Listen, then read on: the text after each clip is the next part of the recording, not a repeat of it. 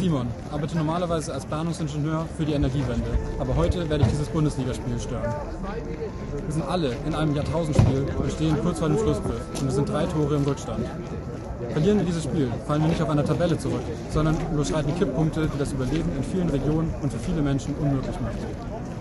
Wir sind die letzte Generation, die dieses Spiel noch drehen kann. Ich habe Angst, gleich im Stadion das Spiel zu stören, das viele sehen wollen. Trotzdem muss ich auf die kriminelle Untätigkeit unserer Regierung aufmerksam machen. Mir wäre es auch lieber, wir würden gemeinsam ungestört dieses Fußballspiel sehen. Aber die wissenschaftlichen Fakten und, die Lage unserer Erde zwingt mich dazu, Widerstand zu leisten. Die letzte Generation wird auf die Straßen Frankfurts gehen und Druck aufbauen, um zu fordern, keine neuen Investitionen für fossile Infrastruktur wie Öl, Kohle und Gas. Hört euch unseren Vortrag an. Die Termine findet ihr auf www.letztegeneration.de. Wir können den fossilen Wahnsinn beenden. Wir müssen diese Verantwortungslosigkeit unserer Regierung nicht hinnehmen.